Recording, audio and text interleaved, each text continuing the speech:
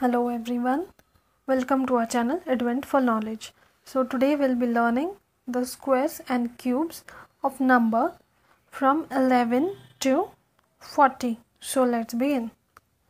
11 square is 121, 12 square is 144, 13 square is 169, 14 square is 196, 15 square is 225, 16 square is 256, 17 square is 289, 18 square is 324, 19 square is 361, 20 square is 400. So let's repeat the above sentence. 11 square is 121, 12 square is 144, 13 square is 169, 14 square is 196, 15 square is 225, 16 square is 256, 17 square is 289, 18 square is 324 19 square is 361 20 square is 400 now let's begin from 20 up till 30 20 square is 400 that we have already completed.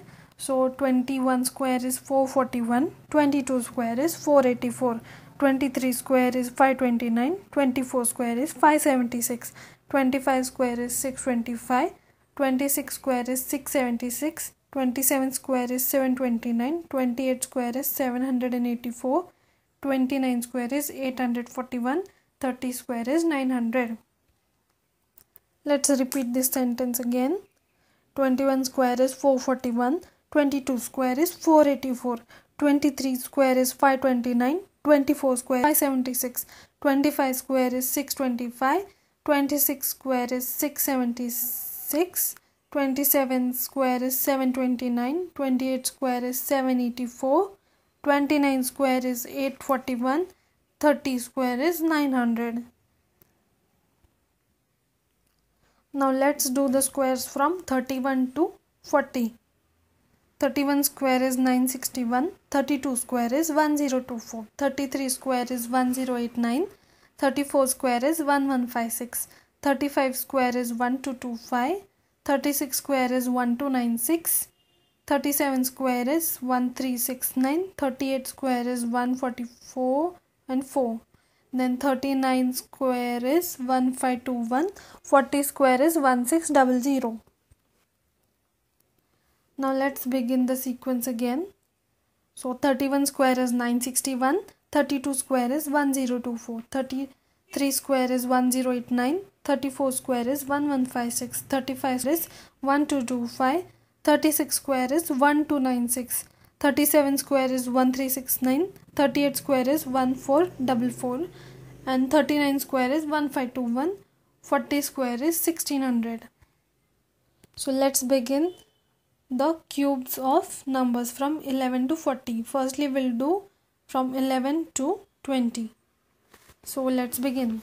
11 cube is 1331, 12 cube is 1728, 13 cube is 2197, 14 cube is 2744, 15 cube is 3375, 16 cube is 4096, 17 cube is 4913, 18 cube is 5832, 19 cube is 6859, 20 cube is 8000 let's repeat the sequence again so that you'll able to remember. 18 cube is 1331 12 cube is 1728 13 cube is 2197 14 cube is 2744 15 cube is 3375 16 cube is 4096 17 cube is 4913 18 cube is 5832 19 cube is 6859 20 cube is 8000 that is 8000 now let's do it from 21 to 30 so 21 cube is 9261 22 cube is 10648 23 cube is 12167 24 cube is 13824 25 cube is 15625 26 cube is 17576 27 cube is 19683 28 cube is 21952 29 cube is 24389 and 30 cube is 27000 let's repeat the sequence again from 21 to 30 21 cube is 9261. 22 cube is 10648. 23 cube is 12167. 24 cube is 13824. Then 25 cube is 15625. 26 cube is 17576. 27 cube is 19683. 28 cube is 21952. 29 cube is 24389. And 30 cube is 27000.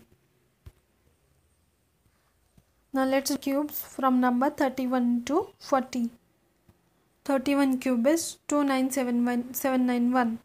31 cube is 29791. 32 cube is 32768. 33 cube is 35937. 34 cube is 39304. 35 cube is 42875. 36 cube is 46656. 37 cube is 50653. 38 cube is 54872. 39 cube is 59319. 40 cube is 64000. So let's repeat the sequence again from 30 to 40. 30 cube is 27000. 31 cube is 29791. 32 cube is 32768. 33 cube is 35937. 34 cube is 39304. 35 cube is 42875 36 cube is 46656 37 cube is 50653 38 cube is 54872 39 cube is 59319 and 40 cube is 464000 so if you will remember the sequence as it is you will easily learn the cubes. You might already be uh, already have learned the sequence from 0 to 10 so if you will listen to this video every morning you will easily learn the squares and cubes up to 40 so thank you for listening and uh, goodbye